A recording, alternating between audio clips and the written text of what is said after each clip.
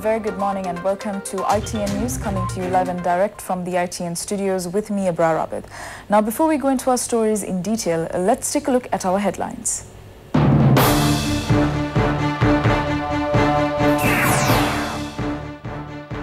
Police curfew imposed within Puttalam district and Negombo Kochikade area will be temporarily lifted. The number of corona cases in Sri Lanka increased up to 50. Accepting nominations for general election will end at 12 noon today. Italy coronavirus deaths rise by record 475 in a day.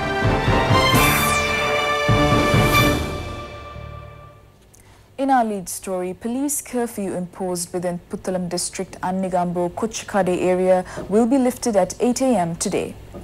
The curfew was imposed yesterday in those areas to contain the spread of COVID-19 within the country. The police said, however, curfew will be reimposed at 2 p.m. in the afternoon and will be in force until further notice. The measure is being taken to carry on submission of nomination without disruption.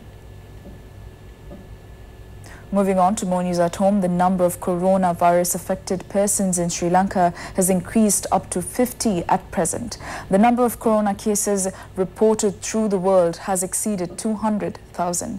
The government has taken many measures to prevent spread of the virus throughout the island. At a media briefing held at the National Operations Centre for the Prevention of COVID-19, Health Minister Pavithra Wanniarachchi said that a number of cases were reported yesterday as well. 24 hospitals are now ready to accept the patients for treatment.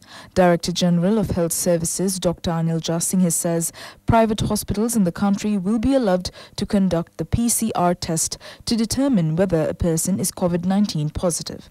However, they are allowed to under strict conditions. He said that the COVID-19 should not cost more than 6,000 rupees at private hospitals and test results should be released within 24 hours. Furthermore, the details of such persons subjected and the test results should be informed to the epidemiology unit. The government has arranged a special flight to bring the devotees who are on pilgrimage in India back to Sri Lanka. There are about 900 Sri Lankan pilgrims in India at present. Meanwhile, the Examinations Department GCE Ordinary Level Examination will be delayed due to this situation. Issuance of vehicle revenue license are available as online services to prevent people coming to divisional secretariats. The validity period of driving licenses issued by the Commissioner General for Motor Traffic, which expires from the 16th of March to the 15th of April, will be extended till the 30th of June. State Pharmaceutical Corporation stresses that there is no shortage of medicines in the country at present. Still news at home, accepting nominations for the general election will end at 12 noon today. Many political parties and independent groups submitted their nomination lists yesterday. It is significant that very few people accompanied uh, with the nomination groups at the district secretariats to hand over nominations. The Election Commission stated that 44 established political parties have submitted their nominations and 31 independent groups have handed over their nominations so far. National Academic Bhikshu Forum held a media briefing regarding a group of Buddhist monks contesting the election under a political party. This group of monks had applied to contest the election under the accepted political parties and were later rejected as Mahanayaka Theros have appealed the political leaders not to give nominations to Buddhist monks. This media briefing was held at the Sunethra Devi Pirivena in Pepiliyana yesterday. Monks should not work under any politician or political party. They cannot have time, ability, strength to work independently. What is more important is monks who can work for the benefit of country independently. So we are destroying our that great ability if we go to the parliament and work under political leaders.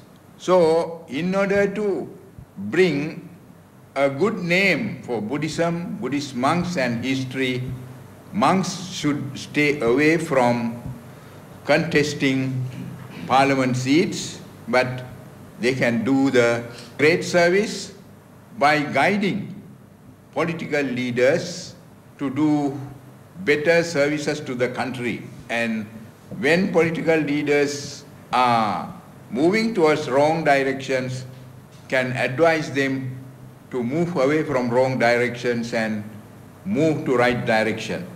That is our stand. So we hope our monks stay away from this dangerous situation and which can bring a bad name for Mahasangha and Buddhism. Measures have been taken to reduce the prices of several essential medical and food items. All import levies on face masks and sanitizers were waived off by the government with effect from today. A maximum retail price of 150 rupees per kilogram for big onions has already been gazetted. The gazette notification also imposes a maximum retail price of 65 rupees per kilogram of Mysore dal and 100 rupees per 425 gram of canned fish. And that is all the news for today. Do join us again tomorrow for the very latest. For the ITN News team, I'm Abrar Abid. A very good day and stay safe.